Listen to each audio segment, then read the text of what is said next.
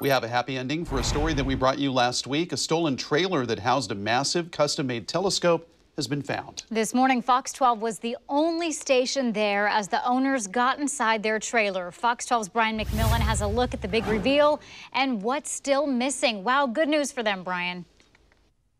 Great news here, but it's only half good news. The couple who own this amazing telescope tell us they were worried they would never see it again. It's a 48 year labor of love that is now back home.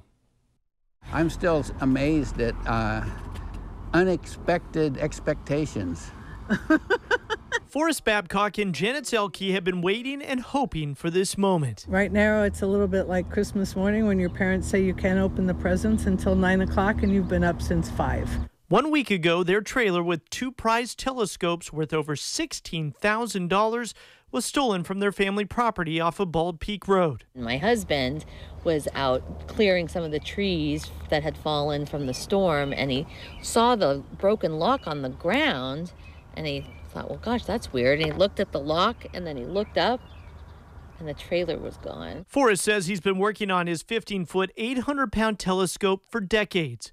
Before the pandemic, he and Janet would take it to places like wineries and schools, giving people a look into the wonders of outer space. Did you haul that thing home for us last night? Yep.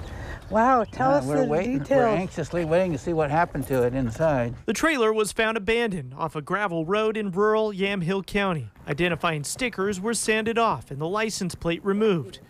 After a long wait, you want me to go first? it was time to see if their telescope was still inside. oh my God, it's the blue is here, you guys. Big Blue was still there. Well, I'll have to fix this, but Their smaller telescope called the Unitron was missing, but thieves left behind the mount and the tripod that make it work. And we have just about every amateur astronomer in the entire Pacific Northwest looking for that thing.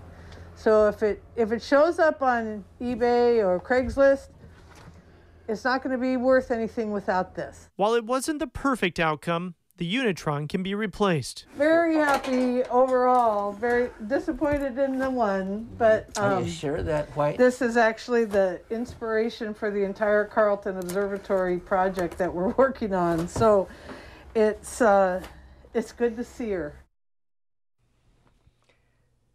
Yeah, and Big Blue, the uh, telescope that you see behind me right here, that's going to need some repairs, but Forrest is confident that they can get that one back up and running again. They're still on the lookout, however, for the other telescope, the Unitron. If you know anything about that, call the Washington County Sheriff's Office.